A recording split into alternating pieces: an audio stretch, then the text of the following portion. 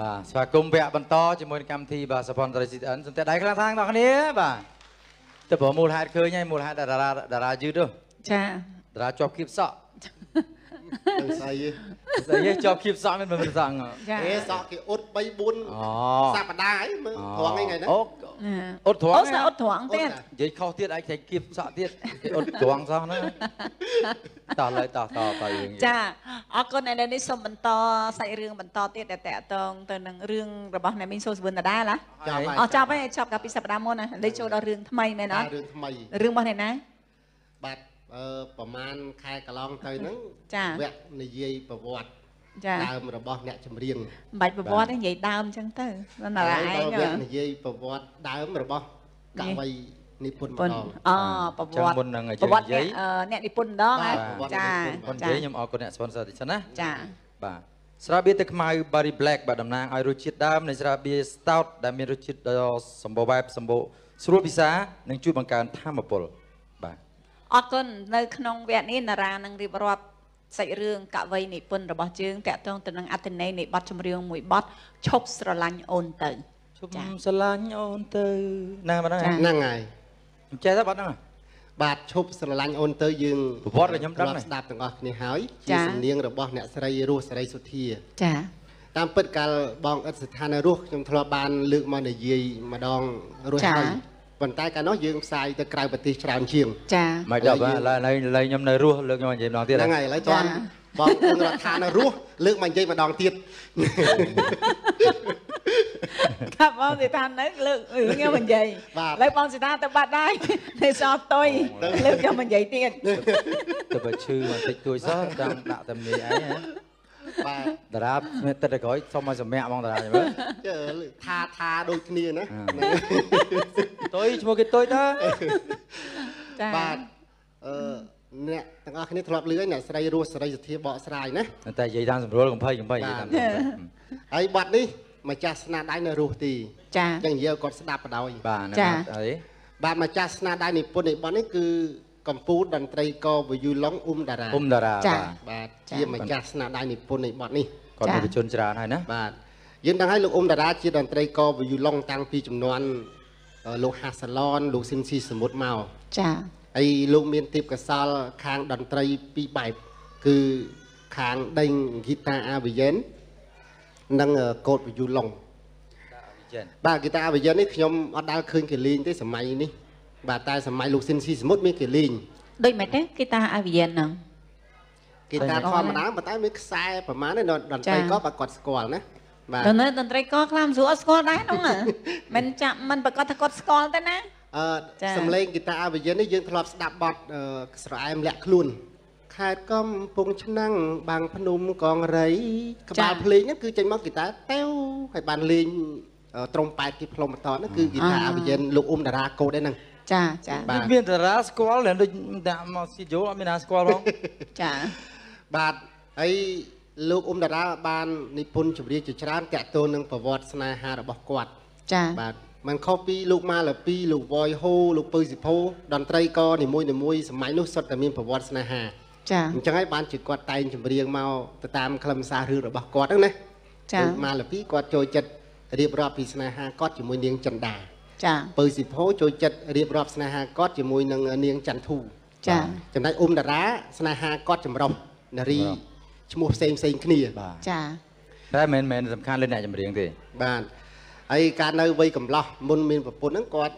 អឺកាលហ្នឹងនៅលេងវីយូឡុងហើយនឹងដេញហ្គីតាអាវីយ៉ែនហ្នឹងគាត់បានអឺស្រឡាញ់នារីម្នាក់នៅអំឡុងឆ្នាំ1957ចាហ្នឹងហើយហើយក្រោយមកក៏ស្រឡាញ់គ្នាទៅក៏ នៅជាមួយគ្នាទៅណាចាអត់មានបានរៀបការនឹងគ្នាទេក៏នៅជាមួយគ្នាប៉ុន្តែលោកអ៊ុំតារាគាត់ជាតន្ត្រីក៏ធម្មតាតន្ត្រីក៏មិនដើរលេងភ្លេងយប់យប់បាទលេងតាមបាររាំងអាសាលនានានៅក្នុងក្រុងភ្នំពេញហើយប៉ុន្តែកាលកាលពីគាត់នៅក្មេងមានគាត់សក់កំណាចអីទេអ៊ំតារាអត់ទេអូសក់គាត់ដល់ដល់ដល់ស្មាអូអ៊ុំតារាបាទ មួយអ៊ំសតាក់រាយើងឥឡូវដែរអ៊ំតារាយើងឥហ្នឹងឡូវនៅសរក់ស់ដល់បច្ចុប្បន្នហ្នឹងអត់អ៊ំតារាយើងមកឥឡូវសក់កំណាចដែរណាអ៊ំតារាមួយទៀតណាបាទហើយធម្មតាតន្ត្រីក៏លេងតាមបារអញ្ចឹងទៅស្រីស្រីច្រើននោះនៅតាមបាររាំងអាសាលអញ្ចឹងទៅខាងស្រីប្រច័នចាបាទប្រច័នទៅជារោរឿងចូលដល់ផ្ទះមានរឿងបាទចេញពីផ្ទះទៅកូតយូឡុងទៅមានរឿងអញ្ចឹងទៅពិបាករស់នៅជាមួយគ្នាបាទអញ្ចឹងទៅក្រោយមកពួកគាត់ហ្នឹងក៏ចែកផ្លូវគ្នាទៅ ដល់ពេលចែកផ្លូវគ្នាទៅគាត់ក៏ពិបាកចិត្តហើយខាងស្រីក៏ពិបាកចិត្តតែដើម្បីបង្ហាញពីស្នេហាដែលខាងស្រីនឹងពិបាកចិត្តអញ្ចឹងបានជាគាត់ហ្នឹងបាននិពន្ធបទឈប់ស្រឡាញ់អូនទៅចាបាទ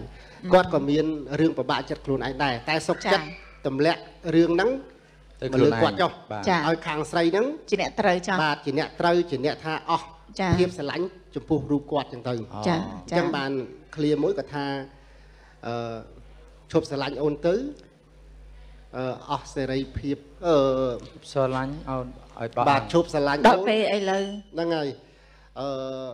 ខ្ញុំរូបអូនមានសេរីនោះ លុះអឺណាប្រុសចាឆ្លៃឈប់ស្រឡាញ់អូនអឺហ្នឹងណាគាត់ចាមានរៀបរាប់អញ្ចឹងណាចាថាបើចង់ឲ្យជីវិតអូនមានរស្មីមានក្តីសង្ឃឹមតោះចាតែបងឈប់ស្រឡាញ់ឈប់អូនស្រឡាញ់បាទចាហ្នឹងហើយចាអញ្ចឹងគឺជាការលះបង់មួយដែរចាក្នុងការផ្ដល់កំហុសឲ្យខ្លួនឯងចាដើម្បីផ្ដល់សេរីភាពឲ្យស្ត្រីម្នាក់នោះចាហ្នឹងហើយគាត់សុខអញ្ចឹងចិត្តហើយប៉ុន្តែមិនមែនរឿងខុនោះមិនមែនរឿងជាមួយនឹងអ្នកនឹងរេសេធាតទេបាទទេអ្នកស្រីរស់សេរីសុធាតគាត់គាត់ជាគ្រាន់អ្នកតែជាជាអ្នកអ្នកច្រៀងច្រៀងទេចាបាទអឺតាមពិតរឿងនេះគឺនៅអំឡុងចុងទសវត្សរ៍ទី50ប៉ុន្តែ ដល់ពេលគាត់យកមកតែងមិនមែនភ្លាមភ្លាមៗហ្នឹងទេដល់ឆ្នាំ1974បានគាត់យកបាត់ហ្នឹងមកឲ្យអ្នកស្រីរស់សេរីសុធាតច្រៀងគាត់តែងទុកយូរហើយ400ឆ្នាំចាដោយសារឆ្នាំ74ហ្នឹងគឺសម័យហ្នឹងគឺកំពុងតែនាំគ្នាផលិតជាកាសែតអូចាមួយកសែតមាន16 18បទចឹងទៅចាគុំតារាគាត់ក៏ក៏ ប្រមូលកាយសាច់រឿងគាត់តាំងពីបាទដើមដល់អាឆ្នាំ74ហ្នឹងយកមកដាក់មកកាសែតហ្នឹងហ្មងបាទអាបទខ្លះរឿងរបស់គាត់បទខ្លះរឿងរបស់គេបាទចាហើយបទខ្លះស្នេហាព្រោះគាត់ទីកា1លទី2ទី3ចឹងទៅមុនចា70គឺយើងមានតែ2ឯងថាសចាចម្រៀងគេចាថាថាសបាទជាងចាបទហ្នឹងហើយអញ្ចឹងនេះជាប្រវត្តិដើមតោងទាំងស្រុងនៃបទឈប់ស្រឡាញ់អូនទៅចាគឺលោកអ៊ុំតារាគាត់និពន្ធទាំងបទភ្លេងទាំងទំនុកច្រៀងនិងទាំងសម្រួលតន្ត្រីចាហើយបាត់នេះមានអឺហ្គីតាលេងទៀតនៅក្នុងបទហ្នឹងគឺលោកសោមសារ៉េត ជាតន្ត្រីករមួយល្បីដូចចំនួននោះផងដែរប៉ុន្តែលោកសោមសារ៉េតបានចែកឋានទៅហើយក្នុងសម័យប៉ុលពតចាគាត់អ្នកលេងយេអរតាគុណចាដូច្នេះសូមលោកអ្នកចាំវិលត្រឡប់ចាទៅស្ដាប់នៅអត្ថន័យនៃបទចម្រៀងនេះចាក្រោមការនិពន្ធរបស់លោកអ៊ុំតារាចាតាមរយៈបទឈប់ស្រឡាញ់អូនទៅបកស្រាយឡើងវិញដោយអ្នកស្រីឆោមឈូវិនចាសូមជើញចាដៃខ្លាំងខ្លាំងទាំងអស់គ្នាបាទ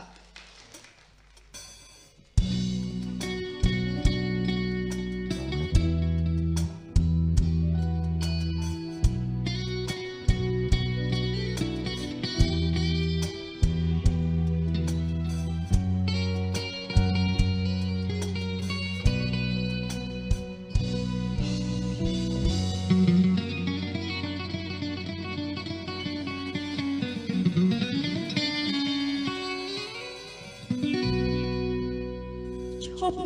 ស្រឡាញ់អូនទៅបើពេលឥឡូវពីបារស់នៅ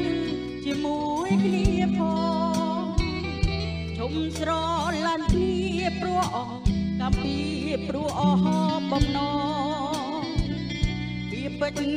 សាសងហើយឆ្លុំសាសងហើយដាច់និស័យ ស្រឡាញ់អូនទៅឈប់ពេលឥឡូវដឹងថាអូននៅស្រឡាញ់ប្រថ្លៃមានសេរីពីព្រៀបផ្លាគំនិតជីវិតទាស័យ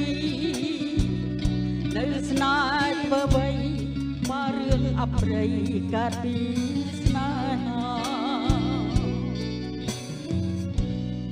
ពិភពលោកីចាយ៉ាងរស្មីអំ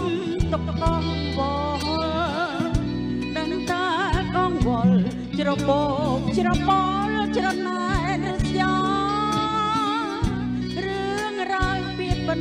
មិនដែលចោតចិនសា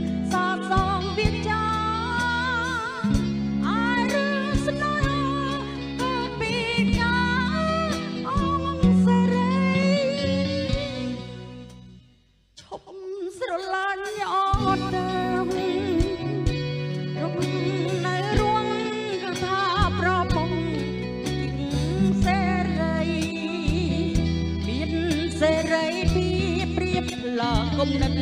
ជីវិតជាស្អីលុងមានស្មីលូណាប្រថ្លៃឈប់ស្រឡា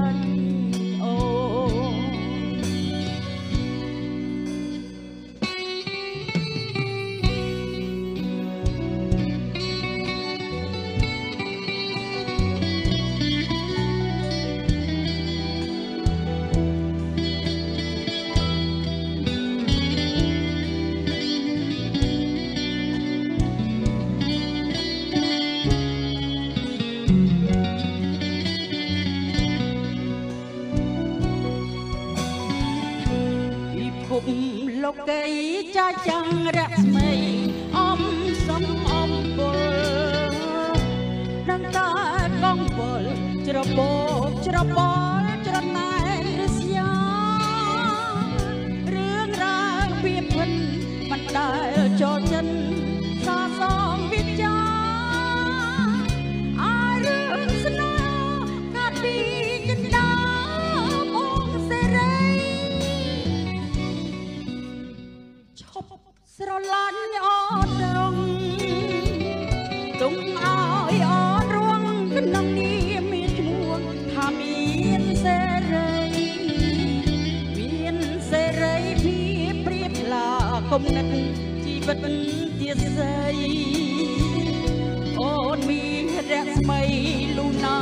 ប្រថ្លៃ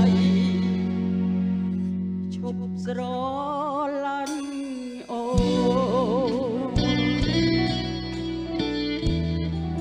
នឈប់ស្រឡាញ់អូនឈប់ស្រឡាញ់អូនឈប់ស្រឡាញ់